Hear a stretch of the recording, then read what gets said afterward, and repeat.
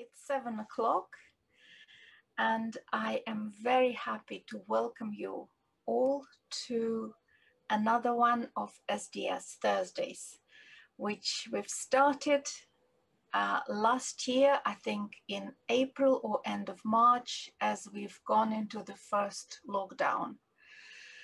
And uh, now we are all hopeful, hoping for better things to come, the vaccination to be effective, uh, lockdown being easing a little bit, but we are still meeting on here on Zoom on Thursdays because we've discovered that actually it's a very, very good way of bringing you all together from all over the country and from all over the world. And uh, it will, this sort of audience, we will never be able to welcome in one room, I think, uh, no matter where we book that room. So we are continuing with Thursdays. And just today, I've updated the calendar of SDS Thursdays on our website under the news items. You can see SDS calendar, SDS Thursdays calendar for 2021. And I've updated them um, up to November so you can go and have a look at the plans we have for Thursdays up to November. And it is actually very busy. We struggled accommodating everything in uh, this, in the calendar, but I think we've managed all right. So we are continuing with them and up to November, you've got the calendar.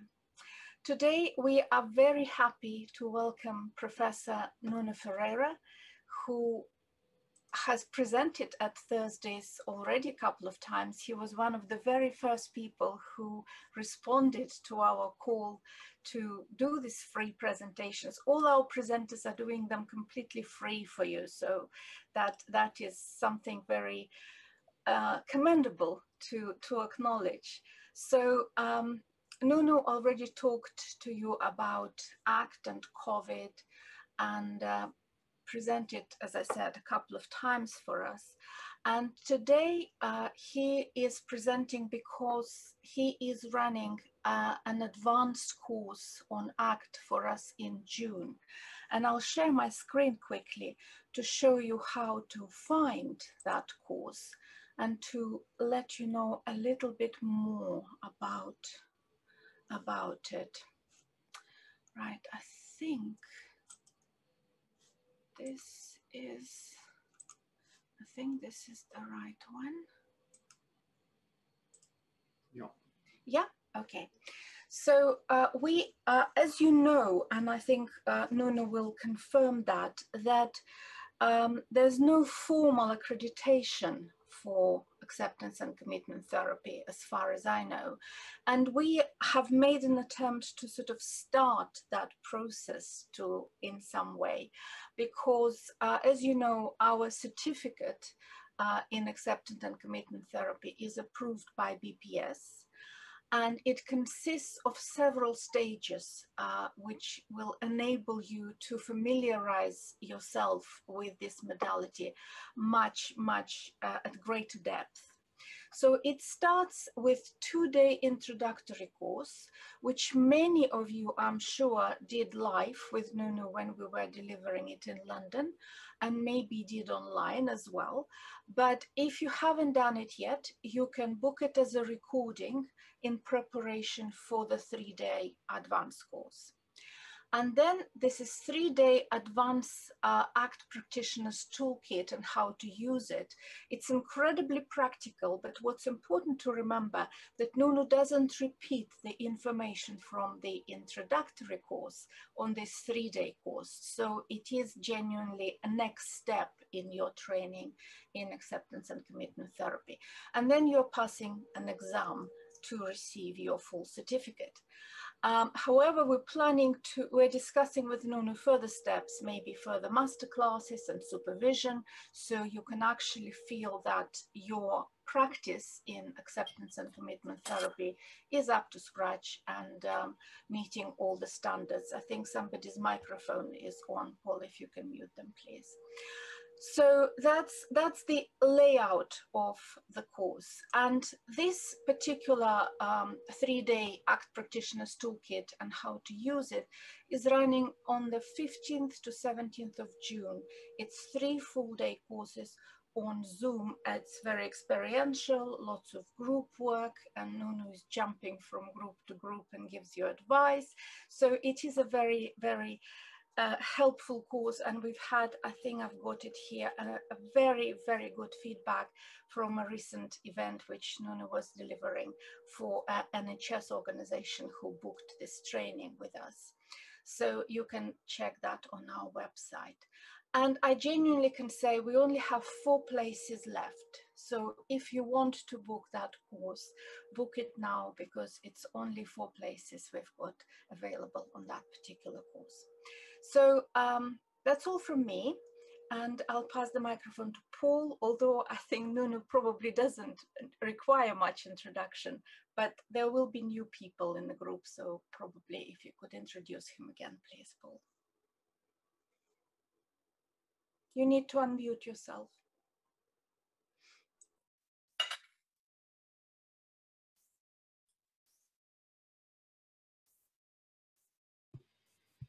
Right, welcome folks. Um, uh, yeah, let me just say um, a few words about Nuno for those of you that haven't uh, met him or worked with him before.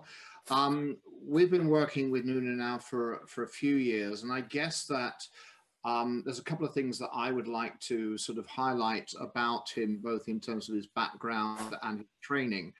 Um, we first started working with Nuno when he was working um, at uh, Edinburgh University um, and where he was doing uh, research on ACT in relation to uh, general medical health problems. He, um, he's now a professor of clinical health psychology at the University of Nicosia, and uh, he continues his specific interest in, in two aspects which come together extraordinarily well um, in the times that we actually live in. He has obviously a specialist knowledge and background in working with ACT, acceptance and commitment therapy, but he's, I would say, probably one of the very few people in the world who has got extensive experience of applying ACT to general medical problems and particularly to problems which relate to chronic health conditions or long-term health conditions. And as I'm sure you're aware, um, we have um, a number of um, chronic um, health conditions that we're dealing with in society generally, whether we're talking about diabetes uh, and so on and so forth, or obesity, but also this is particularly relevant at this particular point in time with what appears to be a growing epidemic that is going to be hitting us um, very soon, if it's not already started for you, with regards to the effects of long COVID. Um, although the actual length of this is not yet clear, it is by it is clearly an ongoing problem. Um, and in that respect is a real issue, I think, for so many of us and so many of our clients uh, to actually be tackling. So without any further ado, I will hand you over to Nuno and um, I will simply say enjoy uh, your time with this man. He's, he's, he's a very special treat and I'm looking forward to, to hearing him again myself. Over to you, Nuno. Thank you very much, Paul, and uh, good evening, everyone. Um, uh, I would like to say I'm, I'm, I'm calling from sunny Cyprus, but it's actually two hours ahead, so it's uh, it's already quite dark out uh, by now.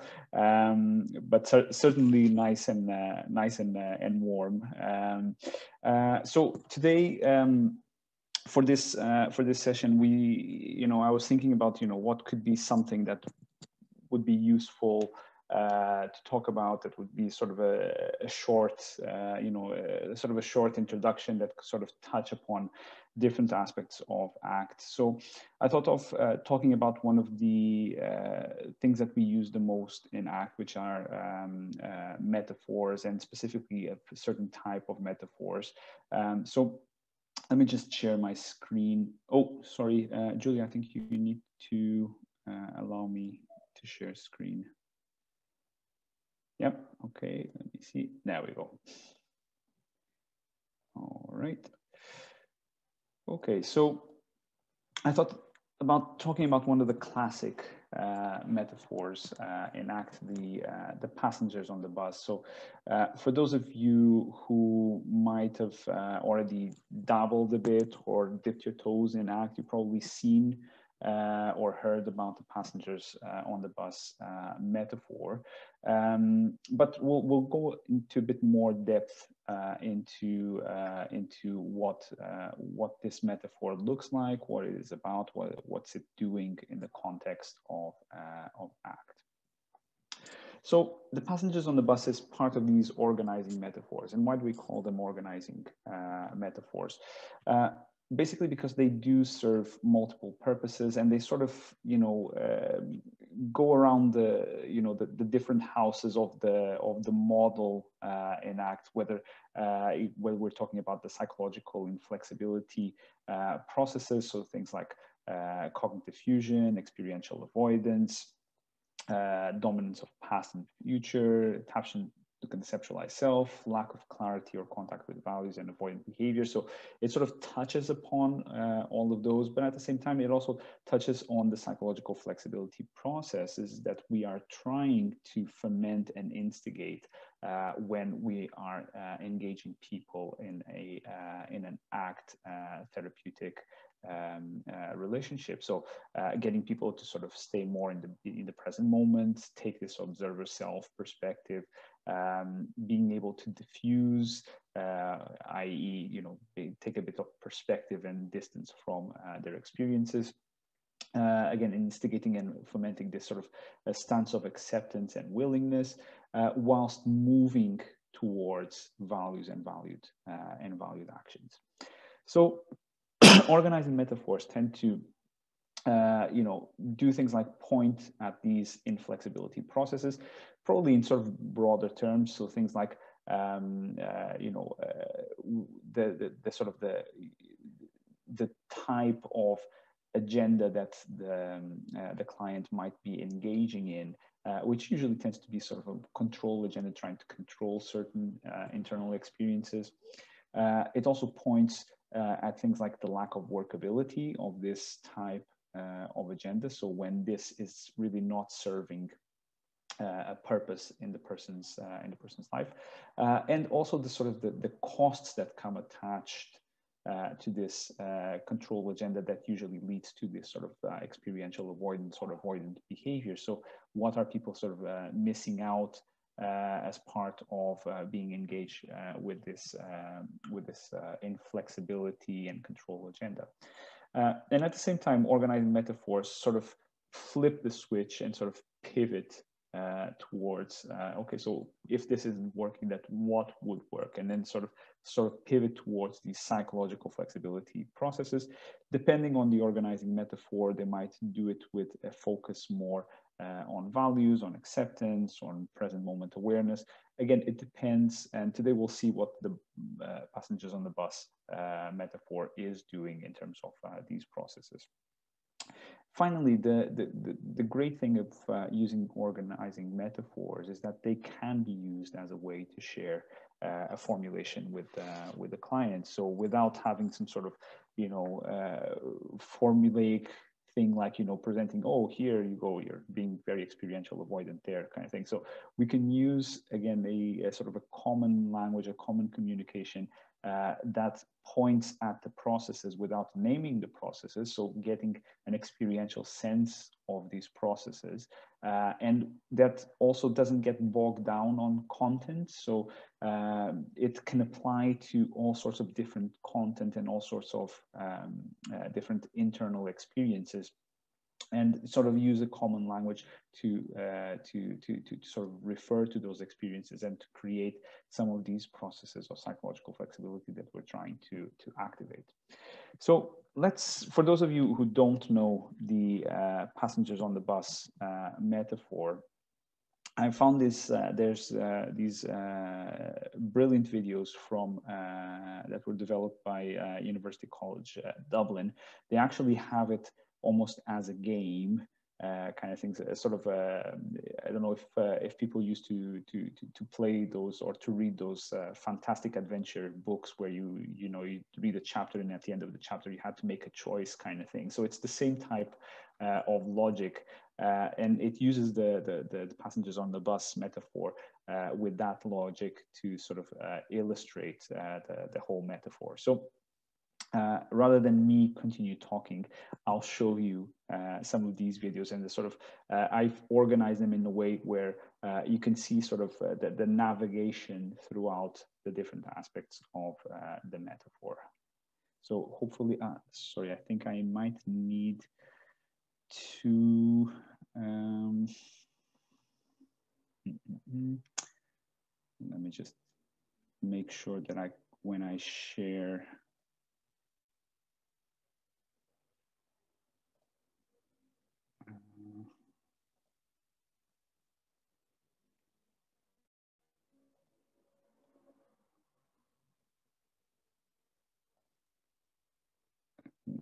that's not it. Sorry, just trying to make sure that.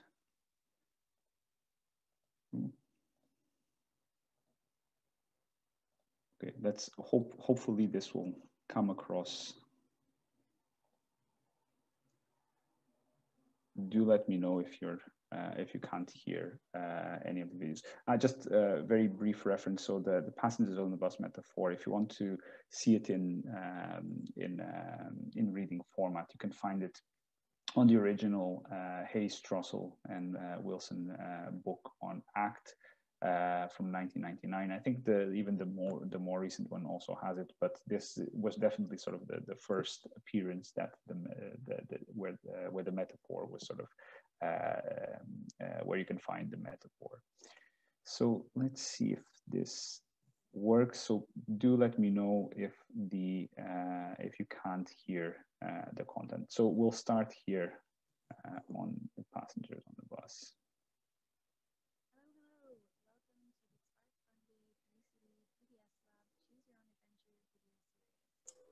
No sound. No sound. Okay.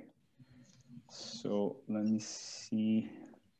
Julian, I don't know if you can help me. How do we share sound as well?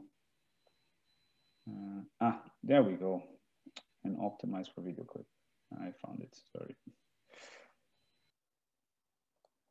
There you go. So hopefully now it will come across. From acceptance and commitment therapy, specifically the passengers on the bus metaphor. You'll be invited to make decisions that will either bring you closer towards what matters or keep you stuck in loop lane. Think Black Mirror Bandersnatch, but slightly less dystopian. At the end of each video, you'll be presented with two options. Simply click the option you want to progress. If you're viewing via a laptop, computer, or tablet, these options will be presented at the end screen. If you're viewing via a phone, then you may need to scroll down to the video description tab to make your choice. And now, without further ado, drumroll please! No, really, this is all about engagement. Drum roll, please. Let's go. Imagine that you are the driver of a bus along the road of your life. And things are generally pretty good in your bus. You stay the course and have well behaved passengers. One day, you spot a new place that you'd like to go, and excitedly, you turn the bus towards this new destination. However, Soon you notice that some passengers on the bus start to become rowdy. They stand up and make noise, demanding you change course back to the other path. What do you think you're doing? demands one of the passengers. You'll never be able for this route. Yeah, says another passenger, and you don't deserve to go this way. Turn back right now.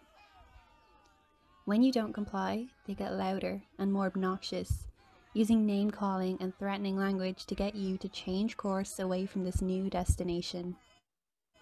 The closer you get to the new destination, the more obnoxious and threatening they become. Okay, here's the space to make your first choice. Do you have a scrap and fight with the passengers, or try to compromise and reason with them?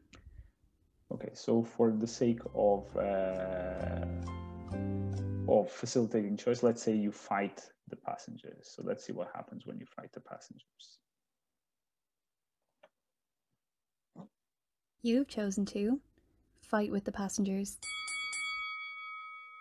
You slam your foot on the brakes and the bus screeches to a sudden halt. You turn to face the passengers and let out a tremendous roar. The passengers seem unfazed and continue complaining. Shut up, you cry, but it doesn't work, and the passengers grow louder. One passenger makes their way to the front and begins to speak. You don't even know what you're doing. What, do you think you could take on all of us? Try push me off this bus and see what happens, mate. The other passengers nod aggressively. You hate to admit it, but he's right. There's no way you could beat him in a fight, let alone the rest of the passengers. And besides, your bus has been stationary for some time now. You've made no progress in your journey. Well, says one passenger, you could take us where we want to go. I'm sure everyone would settle down if you did. Or you could just listen to me instead. I'm much more positive. I think you're doing great. Who needs all those negative Nancys? You cover your ears and try to think. You could just listen to the kind passenger, or you could placate all the passengers and drive where they want. What would you like to do? Again, let's say that you placate the passengers. You've chosen to placate the passengers and drive where they want. All right, all right, you shout to the passengers. I give in. Let's go where you lot want. You take a breath and turn back towards the steering wheel. You steer away from the new route and onto loop lane. The passengers quieten down and take their seats again. Ah, peace. Isn't this what you wanted? The passengers aren't bothering you now. Surely this is a satisfying end of the adventure. And yet, as you drive past the familiar streets, you notice a sinking feeling in your chest. This doesn't feel right, does it? You wanted to go towards the new path. However, you know that if you do, the passengers will become rowdy again, yelling at you to turn back. Maybe you could rush to your destination, driving so fast that the passengers can't bother you. Or maybe you could drown them all out with music. What would you like to do? Let's say we're going to rush to the destination. You've chosen to rush to your destination, driving so fast that the passengers can't bother you. You slam your foot in the gas and the bus lurches forward, and passengers are thrown about with the sheer force of the jolt. You grip the steering wheel tightly as the bus hurtles carelessly down the street. Despite bouncing around, the passengers manage to continue complaining, growing louder and louder as you increase the speed and get closer to what matters. Watch it, driver. This speed is dangerous, says one passenger. You grit your teeth and try to focus on the road ahead. The passenger is right. One slip could cause a major accident. Your shoulders tense and your heart feels like it's beating out of your chest.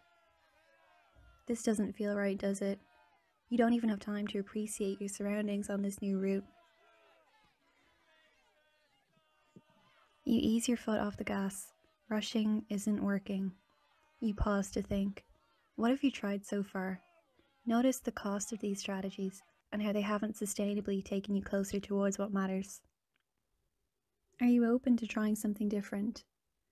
Maybe you could try sitting with the passengers, not fighting, struggling, or trying to change them, just allowing them to be. Okay, so let's see what happens when we sit with the passengers. You have chosen. Okay. You take a breath and give it a try, seeing what it feels like to just allow the passengers without fighting, struggling, or trying to change them. You notice the tension and tightness in your body lift as you drop the struggle.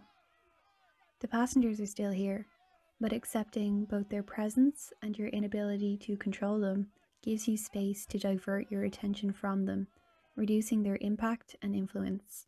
And remember, sometimes the passengers have a point. For example, sometimes they're trying to alert you to danger. As best you can, when you notice a passenger trying to get your attention, tune into your body and explore whether their advice takes you closer towards what matters or keeps you stuck in loop lane. You take a deep breath and slowly ease your foot down on the gas. The bus moves forward, edging closer towards the new destination. The closer you get, the louder the passengers become, demanding you change course.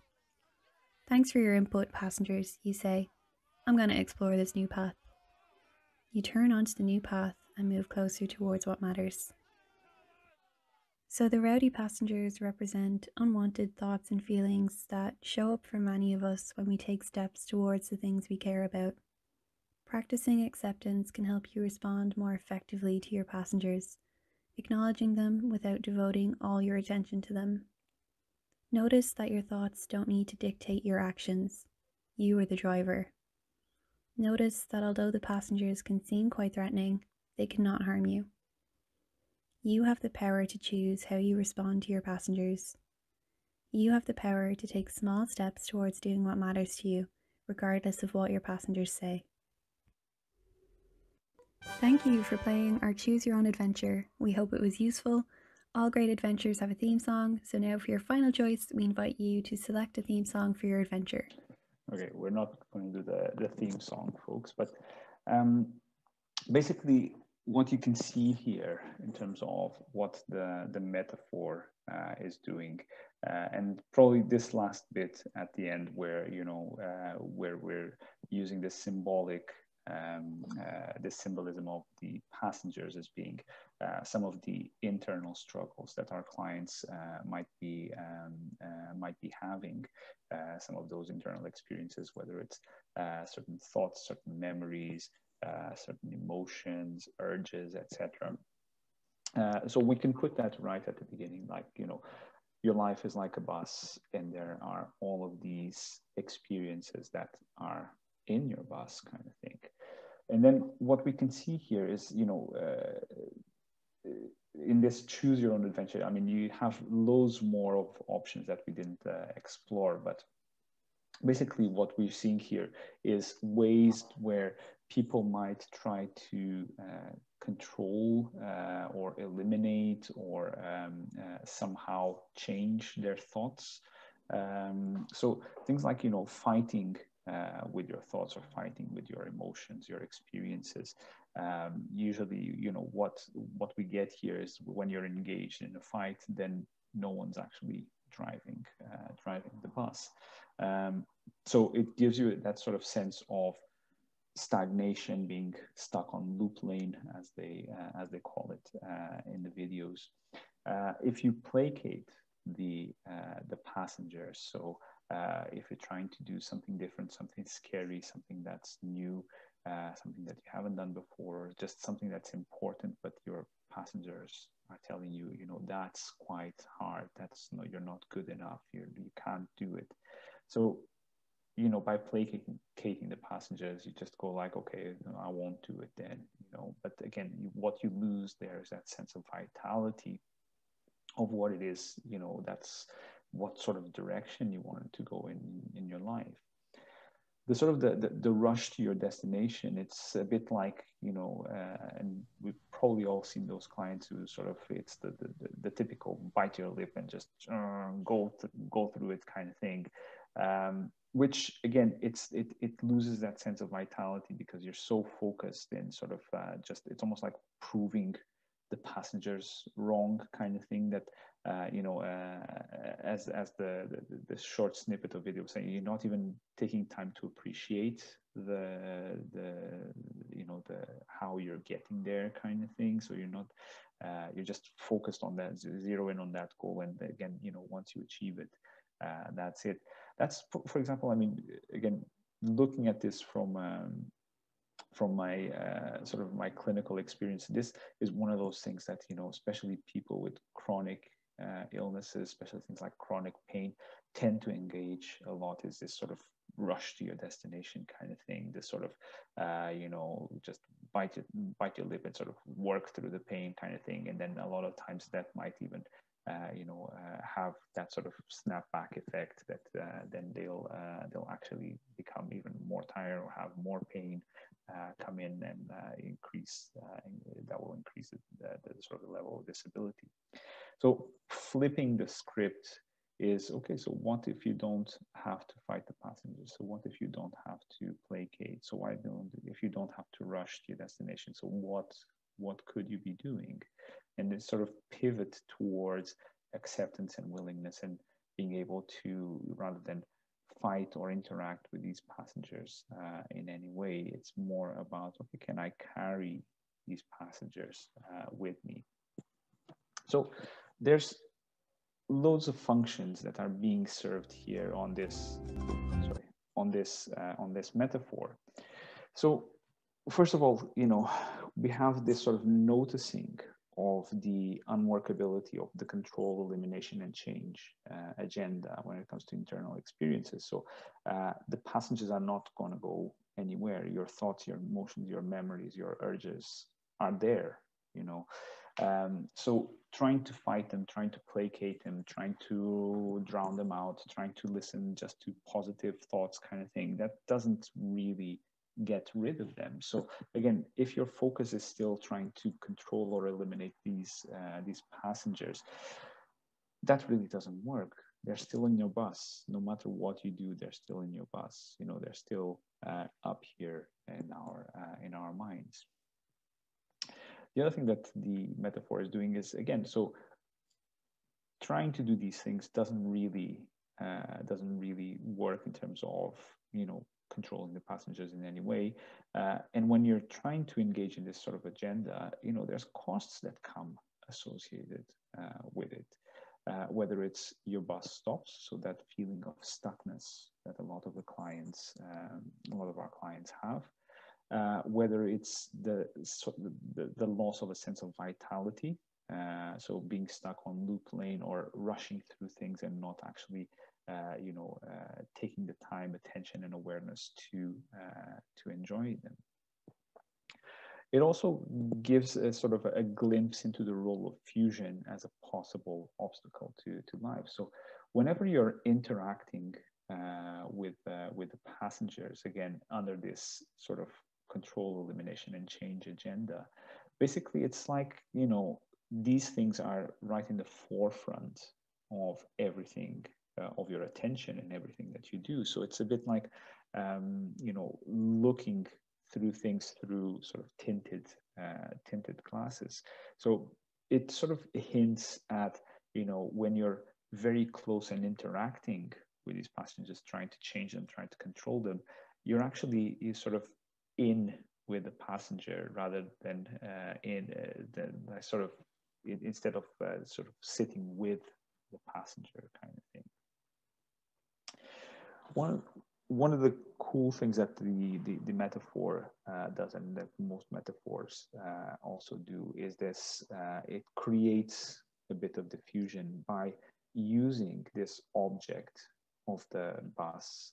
Uh, by using this, um, uh, these characters of the passengers as a way of uh, objectifying or physicalizing some of these psychological uh, some of the psychological content. So, uh, where again, you're not looking from the psychological content, but you're looking at the psychological content. So, you're not looking from your emotions, you're not looking from your thoughts, urges, or memories, you're looking at these experiences. So, by creating this bus with these passengers that represent our thoughts, uh, we are creating a bit of that wiggle room uh, and that distance between us and the internal experiences. And at the same time, it's establishing this new relationship with these thoughts and feelings where, uh, you know, again, the, the, the whole scenery of the bus is a container and the bus as a life, uh, the bus as ourselves, as a container of all these experiences. So where we can uh, we can have all these experiences, and we can also have other passengers, you know, nicer passengers, passengers that might be a bit more neutral uh, in uh, in nature, uh, but we but they they're all contained in this bus uh, type of uh, type of figure. One of the things that was not necessarily very highlighted that we, that we can do uh, in the passengers on the bus uh, metaphor. So in these videos, they did they just had that sort of loop lane or doing something that matters kind of thing. Uh, but we can use the bus as a form of uh, linking with uh, with values, uh, where, for example, I personally use a lot the you know so what's what's the destination on the front of the bus where you have the destination what's your destination? So what's important for you in your life? So what's what's vital for you? What's something that sort of uh, you know get you up in the morning kind of thing wanting to do things? Um, so that could also this sense of direction and where this bus is headed kind of thing can also be integrated. And that's really sort of talking about uh, about values. Um, the other thing that we can do is then okay by using this metaphor so what if you know your life is not necessarily about you know getting the, the, the passengers to be quiet? So again let's reframe that relationship with the with the passengers. So the, the the agenda here is not to get the passengers quiet. What if this is about you know driving to the destination that's on the front uh, on the front of the bus so doesn't that mean that you know you need to drive with these passengers no matter how rowdy or how quiet uh, they might be so again trying to get a reframing of this relationship where these passengers, these thoughts, these feelings, these emotions, these uh, memories, etc., can again can travel with you towards uh, that uh, destination. It also clarifies the agenda for therapy quite clearly, and it, when used very early on, it could be a really sort of uh, give people a, a sense, an experiential sense of what therapy uh, from an ACT perspective looks like. Uh, that this is going to be about getting you to drive towards things that matter uh, to you, not getting those passengers uh, quiet. So again, uh, where the, the, the metric of success is uh, about engagement with valued activities, not necessarily whether the thoughts urges, emotions, etc., have gone away, disappeared uh, in any way, shape, or form. Um, towards this end, you know, when we are talking about this and when we're, we're talking about, okay, so maybe the passengers need to come along, we're pivoting towards acceptance and willingness. You know, when you can thank your passengers uh, for them trying to warn you about something, when you can uh, you know, carry your passengers even though they might be a bit annoying kind of thing. We're talking about taking this sort of more accepting and willing stance to have those uh, those uh, passengers, uh, and at the same time, okay, so how preparing the ground for committed action. So, what would it look like to turn the bus towards something that matters to you? even if it's just the slightest little turn. So what would be the, the, the again, the slight, the, the tiniest little step that you could take towards something that, uh, that matters? How would that look like? How would that look like in real life? And the thing is that, so by just by doing this, just by using this metaphor, again, we can we can then sort of transpose this metaphor to any type of content that the client might be struggling with. So, you know, any new content, okay, so we have here another passenger. Uh, we can uh, use it for different uh, value directions or different areas of growth that the passenger, that the client might be uh, wanting to, to, to work. So again, it's all a question of, okay, so switching the destination. So when you're when you're going towards this destination, what are what type of passengers tend to show up for you? Uh, how do they look like? What uh, uh, what are these passengers saying? Kind of thing. So we can work again with the same framework of the metaphor uh, with across all sorts of different contents, across all sorts of different uh, contexts. Uh, in terms of again sharing, again we're, we're we're sharing all of these points of uh, you know, what we think is happening with you is that you're stuck in this agenda of control, in this agenda of trying to change these internal experiences. You're getting an experiential sense that that doesn't work because uh, you've tried, you know, fighting these experiences, placating these experiences, rush to these experiences, try to have positive thoughts, etc. And that hasn't really gotten rid of the experiences. So maybe what we can do is instead of trying to change these experiences or eliminate these experiences so what would it look like to live with these experiences but live fully with these experiences and live a vital and um, uh, and um, important life that you really want to to live a life that uh, that matters? What would it look like with these experiences? So these are broadly you know the the functions that are being served with one single metaphor and as you can see they sort of uh, pinpoint most of the aspects of uh, of the whole uh, of the whole uh, model. So that's basically you know what I wanted to talk about today is how uh, we can use these uh, these organizing metaphors and the sort of the breadth uh, and scope that that they have. So I'm very happy to take any questions from from the audience at this at this point. Thank you very much. No, no. Uh, we have some questions, but actually, I wanted to start with a question myself, mm. um, because my understanding that you obviously can develop a, a, range of metaphors and choose those which are most suitable for a particular client, choose in collaboration. Mm-hmm. But do you then tend to stick with the metaphor which you've chosen and sort of because with this passenger on the bus, as you've demonstrated, you can achieve so much with just that one metaphor? Or do you keep inventing new metaphors as, as you're progressing with the client?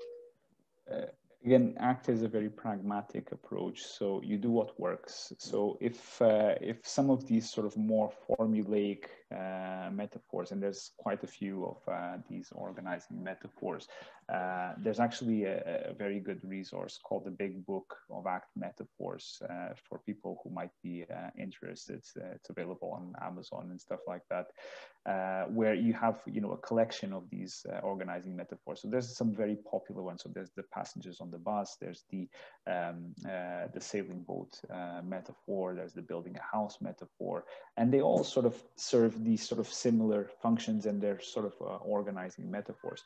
And you know, if you get a, a sense that, you know, um, people are connecting uh, experientially with uh, with these metaphors. Yeah, I mean you can use them uh, across uh, across uh, the whole uh, the the whole therapeutic process, and it's it's a good sort of um, way of again sort of connecting with people at different points uh, of, uh, of the therapeutic process when they might be sort of, you know, if they're, they're going again sort of into experiential avoidance mode, you can sort of call them out in terms okay, that sounds like, you know, you're struggling with your passengers again. That sounds like you're trying to placate those passengers uh, again. So what's the deal here kind of thing. So you can use that again, without having to go very deeply into the content. Uh, so you can do it in a very sort of light way, uh, but getting that sort of experiential sense of, you know, when you're interacting with these uh, passengers, you know, you know what the costs are. The bus stops or the bus gets stuck on loop lane or the, uh, you know, things, uh, things things like uh, things like that. So uh, the other thing that happens sometimes is that you know we can tweak the metaphor uh, and these organizing metaphors to things that are sort of more relevant to to the client so some clients uh, might even sort of personalize the metaphor in some ways by adding you know small details here and there and again that's absolutely fine as long as it's facilitating their connection and sorry, especially the, their experiential uh, sense of uh, what the metaphor is symbolizing there you know that's fine. And you can sometimes you get some very colorful buses uh, or uh, you know some uh, very detailed descriptions of what the passengers look like and things like that. Thank you. Thank you. Uh, we've got a question from richard um, mm -hmm. which starts with the but so I assume it was a, an answer to something you've said. I guess it was to do with acceptance and accepting those passengers as they are. Because Richard says, but many of the people we see do make fulfilling and transformative changes to unhelpful beliefs and attitudes. So rather than just accepting, they do make changes. So what would you say to that?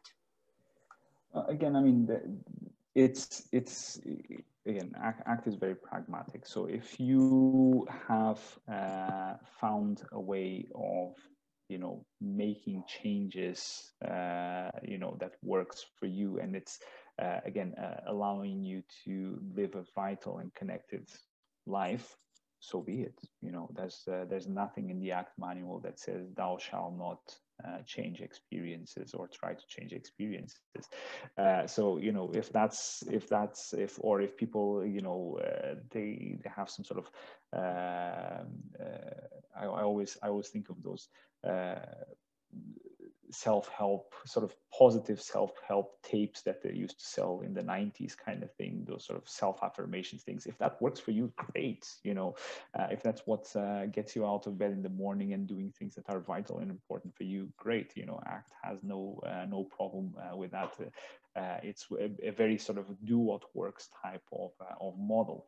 Um, the, th- the key thing is sort of to look out you know are people when people are using those strategies uh, are those is there any cost associated uh, with it? Because sometimes it might be that uh, it might be uh, liberating in one part of their life but at a very expensive cost in other parts uh, of their life. Um, or things like uh, you know using those strategies um, in a very context insensitive way so using the same strategy uh, that works for one part of their life, trying to use the same strategy for other parts of their life where it's not workable uh, in those parts of, the, of their life. So those are the key things that you, you're going to be on the lookout for, uh, just to make sure that, um, you know, uh, okay, there's, there's still workability uh, there. Uh, thank you. Uh, Rona asked about the link to the videos which you've shown us, but I think it's been sorted because lots of people yeah. uh, found it and said what the name of the channel is. Mm -hmm. So if you can't find all of them, go to the channel and usually uh, you can find all the videos which that channel mm. uploaded over time. So it shouldn't be a problem. And I am uh, right. Yeah, I found I found one more question because there were lots of thanks. Um, and Vivian asks a question which mm-hmm. probably will take us to the midnight because it's Nuno's favorite topic and specialist topic. Can you say more about how ACT helps with medical issue? Can it help with clients who come with pain? And I know that you mm-hmm. you can talk about it at great length, but briefly, if if you can just answer that, please. Yeah, I mean, very, briefly, yes, uh, but depends on how you're how you're asking the question. Uh, if you're asking, can it help clients get rid of the pain? No. Uh, can it help clients live more vital and committed lives with the pain? Yes. Uh, and there's a plethora of, uh, of uh, research on uh, ACT uh, with chronic pain and, and all sorts of chronic, chronic medical conditions. Uh, my actual my actual area of expertise is more on uh, gastrointestinal uh, chronic gastrointestinal conditions. So people living with IBS IBD uh, so uh, and it, yes it does help and people get uh, you know do enjoy a, a, better quality of life which then you know and we know this mainly through we know there's a, a biofeedback uh, loop effect that when people do start engaging in uh, more uh, sort of quality of life directed, sort of more uh, valued actions, that does uh, have an impact on the physical uh, side as well. So they end up experiencing less pain or less symptoms, but again, they're not getting rid of them, but they might be experiencing less because, again, that sort of activation loop gets switched off or gets uh, disrupted in some way. Thank you. And I actually have questions question to you, uh, our participants. If we organize with Nuno a masterclass on ACT for chronic pain, would it be of interest to you? So if you just briefly write in the chat box whether you would want to come to a brief, probably brief two hours masterclass on using ACT with chronic conditions and chronic pain. Uh, just please let us know whether it is of interest. And the last question, because I, I'm sure there will be more questions, but do please come to our three-day course or at least watch the introductory course because Nuno goes into great depth uh, at the introductory course about the main principles of acts and then skills are mainly in the three-day course. But the last question before we part, what about all the clients we see that don't have a sense of direction at all? Ian is asking. Yeah. So that's one of the things that we do work uh, in uh, in ACT. Uh, so getting the sense of uh, what's the what's on the what's on the front uh, of the bus, where where where was this bus headed, kind of thing. Uh, and again, depending on the client, we might use different types of techniques or approaches. some clients can, you know, with a bit of coaxing and coaching, uh, are able to get, you know, well, what I really wanted my life to be about was about X, Y, or Z kind of thing. Uh, some others, with some others, it might be a bit more difficult. So, uh, what we use a lot in ACT is a, a bit of looking at uh, the pain and the loss that the client is experiencing and using that almost as a reverse compass uh, to what was it important? So what's what's this person really missing in their life uh, at the moment? So where's the where's the suffering uh, coming from? Is this a suffering that's related to not having enough of again x y or z that could be the sort of uh, the, the value uh, in their life Thank you very much, Nuno. There's plenty of messages saying thank you for your time, for excellent presentation. And everybody who typed the reply said, yes, they want a masterclass on chronic pain. So we will discuss that. And uh, thank you again. Real pleasure to have you. And uh, we'll work with you again in June. And thank you very much for everybody who uh, participated today in, in this Thursday. The next one, I think on the 20, I, don't quote me. I, am not, I'm not, I can't remember the date right now, but we have another one coming up. Uh, just keep an eye on your emails. And as always at the end, you can unmute yourself, say goodbye, and we'll stay behind. If you have any personal questions, uh, we'll be able to answer them at the very end when there's uh, the uh, event is finished. So thank you very much and you can unmute yourself and say your thanks and goodbye and we'll see you soon again Thank, Thank you. Thank you very much. Bye. Thank you. Bye. Thank you very much. Bye. Thank you. Thank you. Bye. Thank you. Bye-bye. Bye. Bye. Bye. Take care.